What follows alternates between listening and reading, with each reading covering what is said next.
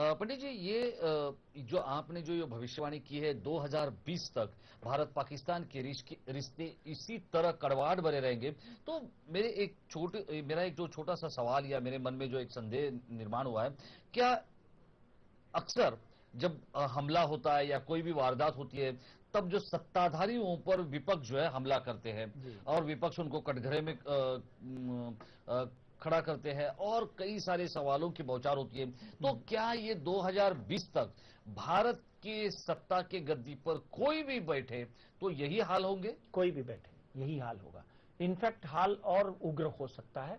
कुंडली के हिसाब किताब में कहीं भी भारत पाकिस्तान में जितनी भी वार्ताएँ आज तक राजेश जी हुई हैं जी जी। ठीक है आपकी उम्र के हिसाब से मेरी उम्र के हिसाब से जब से हमने होश संभाला है वो या तो ठंडे बस्ते में चली गई हैं, या उसके ऊपर अमल ही नहीं हो पाया है।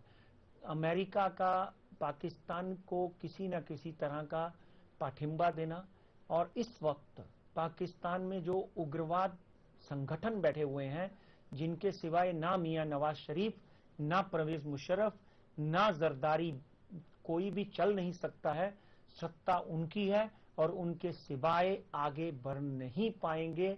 और ये 2020 तक जब तक अमेरिका खुद ये महसूस नहीं कर लेता कि पाकिस्तान में किसी न किसी तरह सुधार लाने की तब ज़रूरत तक ये चलता रहेगा। पंडित जी